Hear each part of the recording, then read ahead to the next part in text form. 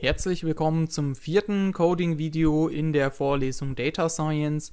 In diesem Coding-Video befassen wir uns mit der Dimensionsreduktion und der Principal Component Analysis und wir beginnen wie immer einige uns bekannte Pakete hier einzubinden, Matplotlib, Pandas, NumPy, Seaborn. Wir bedienen uns erneut des Brustkrebsdatensatzes von sklearn. Wir haben hier eine Scaling-Funktion, die zur Normalisierung genommen wird, zu der komme ich später noch. Wir haben unser Principal Component Analysis Modell und ich habe hier noch, damit die Tabellen halbwegs hübsch aussehen, noch das Package Tabulate genommen. Das erlaubt es uns, Tabellen und Data Frames hübscher darzustellen, wie das, was die Python-Konsole uns generell ausgibt. Das Vorgehen hier ist simultan oder identisch mit dem vorher. Wir laden uns den Datensatz wir schauen uns diesen Datensatz an, die Beschreibung des Datensatzes. Wir speichern uns die Daten in einen Pandas Data Frame, benennen die Spalten nach den Features, das heißt nach den Variablennamen.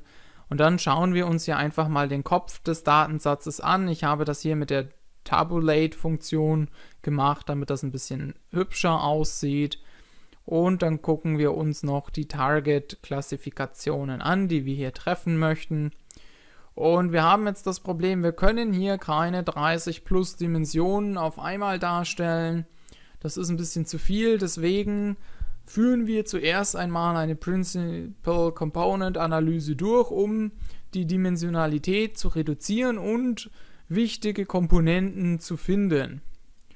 Und ich werde hier eine Neuerung einführen und zwar normalisieren wir die Daten zunächst einmal da die Daten an sich ja mannigfaltig sind und auch in ihren absoluten Werten durchaus voneinander abweichen können. Daher bedient man sich sogenannten Standard Scalar Modellen. Wir nehmen, es gibt verschiedene Skalierungsfunktionen. Wir nehmen hier den Standard Scalar von sklearn und auf diesen Scalar fitten wir hier die Daten. Das bedeutet, dass wir einfach nur die Daten normalisieren und dann transformieren wir hier an diesen Data Frame mit dem Scaler. Das heißt, wir bekommen einen Datensatz, der normalisiert wurde, bevor wir diesen dem Modell übergeben.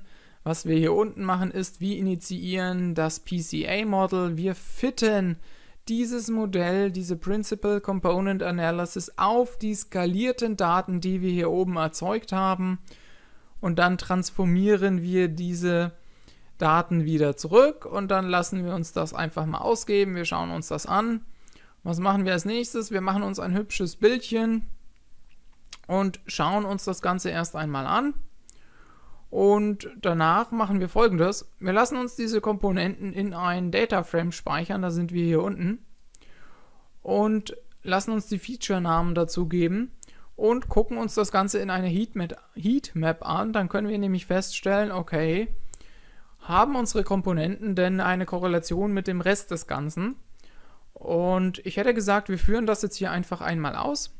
Oder bevor wir es ausführen, Pakete einbinden, Daten laden, Daten ansehen, Daten normalisieren, Modell initiieren, Modell trainieren, Ergebnisse ansehen. Und genau das tun wir jetzt auch.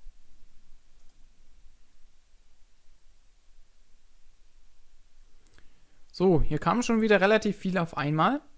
Ich schließe das Bild zunächst einmal und vergrößere hier einfach mal die Konsole. Wir sehen hier oben erneut die Beschreibung des Datensatzes. Das habe ich ja schon im vorherigen Video erläutert. Hier sehen Sie die Anzahl der Instanzen, wie viele Attribute hier vorhanden sind, die Beschreibungen der Variablen, einige deskriptive Maße, noch mehr Beschreibungen, für was der Datensatz vorhanden ist und weiterführende Paper und weiterführende Referenzen. Und nun sehen wir hier, es ist immer noch sehr unübersichtlich, weil eben dieser Data Frame sehr umfassend ist und sehr, sehr, sehr groß. Wir sehen hier, was das Tabulate tut. Es versucht zumindest das ein bisschen in eine Ordnung zu packen. Hier sehen wir unseren Data Frame, mit dem wir arbeiten werden. Und hier unten sehen wir die ganzen Label, die wir versuchen herzustellen. Und ich habe hier das Ganze schon einmal grafisch aufbereitet. Die erste gegen die zweite Komponente. Und dann sehen wir das Ganze auch. Das Schließen wir jetzt wieder. Und dann sehen wir hier am Ende unsere Components, unsere erste Komponente und unsere zweite Komponente. Ich mache das einfach mal etwas größer und ich werde das Ganze auch mal ein bisschen hübschen, dass wir, das, dass wir hier auch was erkennen können. Das heißt, wir haben hier unsere erste Principal Component, hier ist die zweite Principal Component und wir sehen hier anhand einer Heatmap, anhand einer Korrelationsstruktur, auf welche Feature-Variablen hier diese Komponenten wie korreliert sind und da können wir in einem Bild sehen, ob und wie die Komponenten mit unseren Originaldaten in Verbindung stehen. Und das können wir machen, um Dimensionen zu reduzieren. Wir haben hier nur noch zwei Variablen, mit denen wir arbeiten müssen und keine 30 mehr. Und das ist schon einiges wert. Und das ist das, was wir unter Dimensionsreduktion verstehen, dass wir hier zwei Variablen erzeugen und wir sehen können, welchen Einfluss haben denn meine zwei Hauptkomponenten mit dem restlichen Datensatz. Und was wir hier unten noch sehen können, ist die Komponentenmatrix wie wir sie hier sehen können. Und das soll es zur Principal Component Analyse eigentlich auch gewesen sein.